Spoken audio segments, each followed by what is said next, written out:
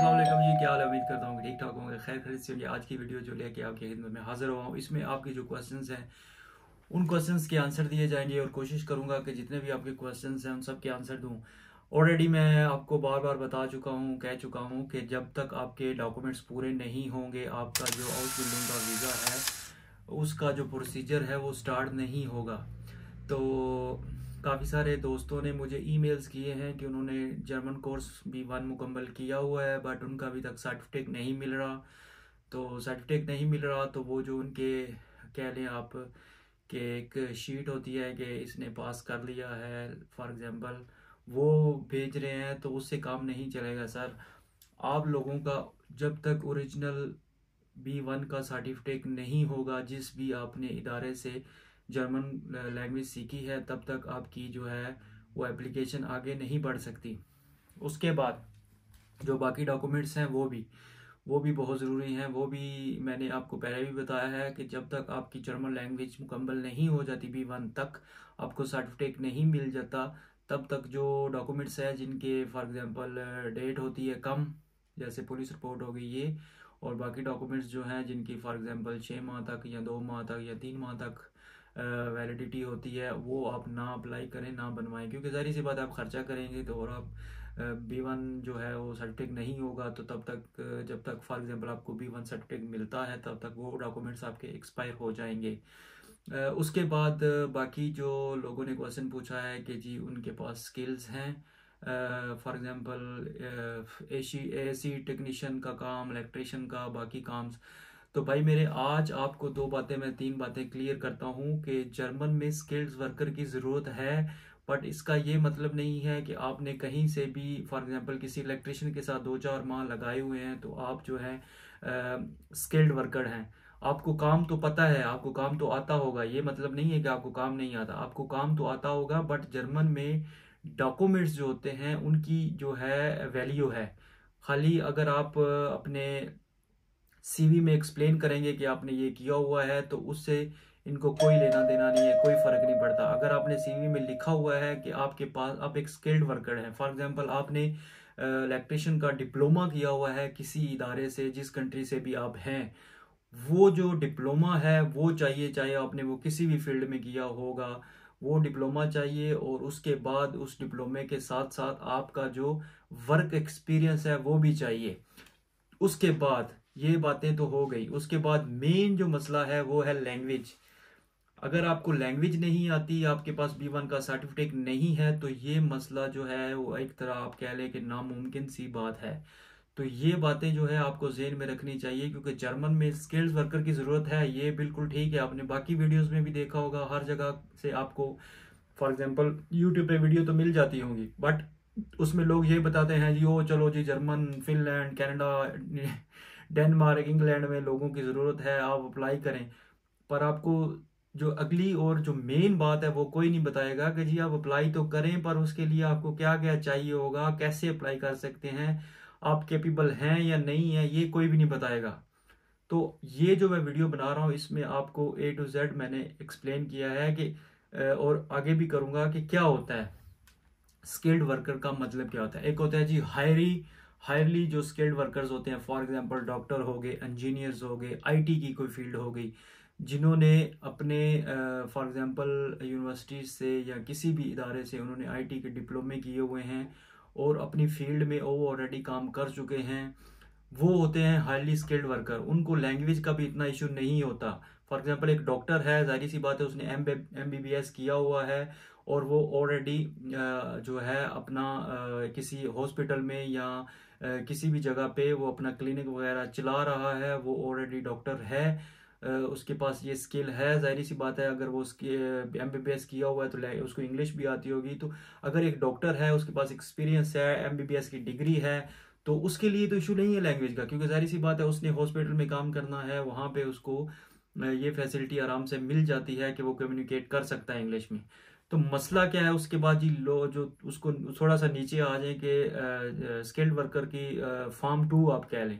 Skilled worker की form two ये है कि जिन लोगों ने किसी भी इदारे से, वो चाहे जिस कंट्री से भी हैं, उन्होंने कोई भी जो है फ़ील्ड टेक्निकल उसमें उन्होंने डिप्लोमा किया हुआ है। फॉर एग्जांपल इलेक्ट्रिशियन हैं ऑटो मैकेनिक हैं या कोई और। वो जो इदारा है, वो रजिस्टर्ड होना चाहिए इदारा। फॉर एग्जांपल गवर्नमेंट का रजिस्टर्ड अदारा होना चाहिए। प्राइवेट नहीं, कैसे, कहीं से भी आप छः माह का कोई डिप्लोमा करके तो आप कहें कि जी, मेरे पास ये स्किल है। ये नहीं मानते। आपके पास किसी भी गवर्नमेंट के कह लें कि रजिस्टर्ड अदारे से आपके पास डिप्लोमा होना चाहिए, जिस फ़ील्ड में भी आपने किया हुआ है। वो डिप्लोमा और उसके साथ प्लस आपके पास वर्क एक्सपीरियंस होना चाहिए। अगर आप डिप्लोमा करके सीधा बोलें कि जी मेरे पास डिप्लोमा है तो मैं वीज़ा अप्लाई कर सकता हूँ तो मैं आ जाऊँगा तो ये नहीं हो सकता। डिप्लोमा करें, उसके साथ उस जो आपका काम है, उसको भी साथ में जारी रखें और लैंग्वेज सीखें। लैंग्वेज बी वन तक आपने सीखनी ही सीखनी है। ये चीज़ें हो गई उसके बाद नीचे आ जाते हैं जी, जो हाउस बिल्डिंग या ये जो बातें मैंने आपको बताई हैं कि सबसे इजीएस्ट वे जो है वो क्या है? आप एजुकेटेड भी नहीं है, आपके पास कोई स्किल भी नहीं है, उसके बाद आप इतना पढ़े लिखे भी नहीं है तो फिर कैसे आप आ सकते हैं? फिर ऐसे आप आ सकते हैं कि आप वहाँ पे सबसे पहले बी वन लैंग्वेज सीखें, उस, बाकी चीज़ें भूल जाएँ कि आपके पास कोई स्किल है या नहीं है। उसके बाद आप ये भूल जाएँ कि आप एजुकेटेड हैं या नहीं है। आप बी वन लैंग्वेज सीखें लैंग्वेज कोई भी बंदा जो है, जिसको अलग भी आती है या थोड़ा बहुत वो जानता है या ए बी सी आती है, वो अंडरस्टैंड कर सकता है, वो सीख सकता है। लैंग्वेज सीखना कोई मुश्किल काम नहीं है, चाहे आप पढ़े लिखे हैं या नहीं है। तो ये बेसिक है। तो आपने क्या करना है? लैंग्वेज सीखनी है। लैंग्वेज सीखने के बाद जब आपके पास बी वन का सर्टिफिकेट आ जाएगा तो अपने अपने जो पासपोर्ट वगैरह है आईडी कार्ड है उसके बाद आपके स्कूल अगर आपने कुछ किया हुआ है, वो उसके बाद आपका जो एक सीवी बनती है, जिसमें आपने पूरा एक्सप्लेन करना है कि क्या आपका नाम है, आपकी डेट ऑफ़ बर्थ क्या है, आपने कहाँ तक स्कूल किया हुआ है, आपने क्या क्या क्या क्या काम किए हुए हैं, ये सारी चीज़ें आपने उसमें एक्सप्लेन करनी है, अपनी हॉबीज़ वगैरह, ये सारी। ये डॉक्यूमेंट्स उसके बाद आपने अपना करेक्टर सर्टिफिकेट जो पुलिस का बनता है, वो बनवाना है कि आपका कोई क्रिमिनल रिकॉर्ड या एक्टिविटी नहीं है, वो ये सारी चीज़ें जब आपके पास आ जाएँगी तो उसके बाद इनशाला मैं आपको यहाँ से कॉन्ट्रैक्ट हाउस बिल्डिंग जिसको बोलते हैं इसको ट्रेनिंग का वीज़ा बोलते हैं वो दिलवाऊँगा। तो उसमें ये होगा कि यहाँ पे आप आ जाएँगे और यहाँ पे आके आपको जिस फ़ील्ड में भी आप आना चाहते हैं मेरे भाई मैं बार बार आपको कह रहा हूँ कि इसके लिए कोई पैसिफिक या आ, कोई सडन डिपार्टमेंट नहीं है। जिस भी चीज़ में आप आ, का शौक है जिस चीज़ में भी आप ट्रेनिंग लेना चाहते हैं, वो जर्मनी में है। तो ये चीज़ें जो हैं, ये क्वेश्चन जो है, बेमानी है कि जी मैं ये करना चाहता हूँ, मैं वो कर, कुछ भी करना चाहते हैं आप। आपको ये नहीं सोचना चाहिए कि मैं ये करना चाहता हूँ, वो करना चाहता हूँ। आपको सबसे पहले अपने डॉक्यूमेंट्स रेडी करने हैं, जो मैंने आपको बताए हैं। वो जब रेडी हो जाएँगे फिर आपका जो है अम्बेसी की अपॉइंटमेंट वहाँ पे जाना, आपके पास जो आपकी सीवी होगी, वो होगी, जहाँ से इनशाला जो मैं कॉन्ट्रैक्ट भेजूँगा, वो आपके पास होगा। ये सारी चीज़ें जब आप सबमिट करवाएँगे, वो आपको इंटरव्यू के लिए बुलवाएँगे, उसके बाद इनशाला जो आपका फर्दर वीज़ा इशू का प्रोसीजर है, वो स्टार्ट होगा। तो जब आप यहाँ पे आ जाएँगे तो यहाँ आके आप ज़ीरो से स्टार्ट करेंगे कोई भी स्किल्ड आपने लेनी है तो ज़ीरो से स्टार्ट करेंगे। उसमें आपको फॉर एग्जांपल एक माह जो है आपको स्कूल जाना पड़ेगा, तीन माह आपको काम करना पड़ेगा। फॉर एग्जांपल ये हर जो सूबा है यहाँ का, हर जो स्टेट है उसका अपना अपना हिसाब किताब है। या जो आपका कॉन्ट्रैक्टर होगा, जिसने आपको बुलाया होगा, जो कंपनी होगी, वो डिसाइड करेगी कि कब कब कब कब आपको स्कूल भेजना है और कब कब आपको काम पे रखना है या काम पे बुलाना है। तो उसमें आपको जो आपका कॉन्ट्रैक्टर या आपका बॉस होगा, वो आपको पे भी करेगा।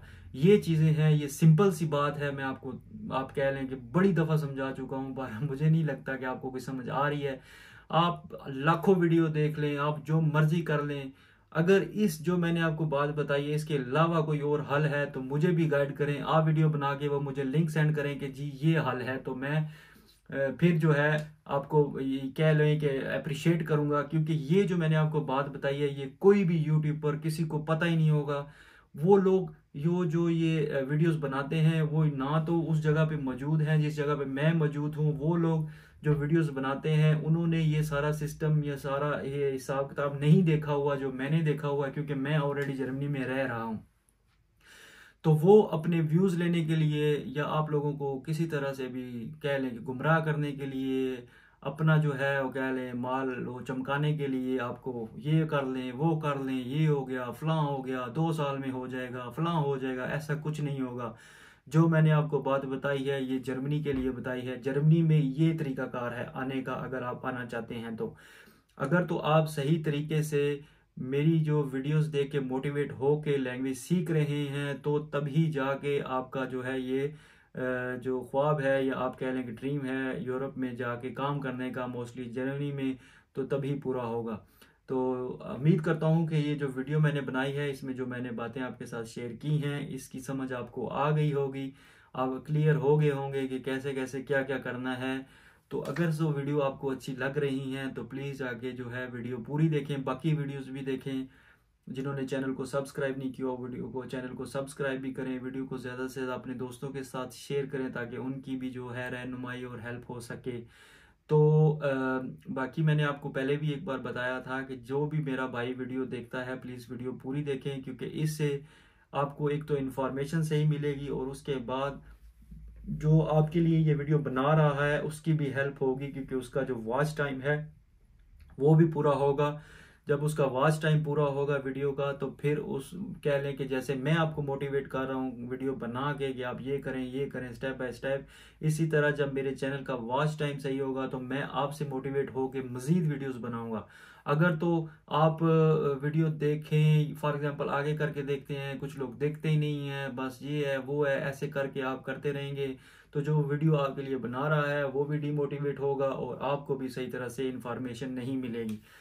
तो उम्मीद करता हूँ कि आज की जो वीडियो है, आपको पसंद आई होगी। अगर वीडियो पसंद आई है तो चैनल को सब्सक्राइब करना मत भूलिएगा।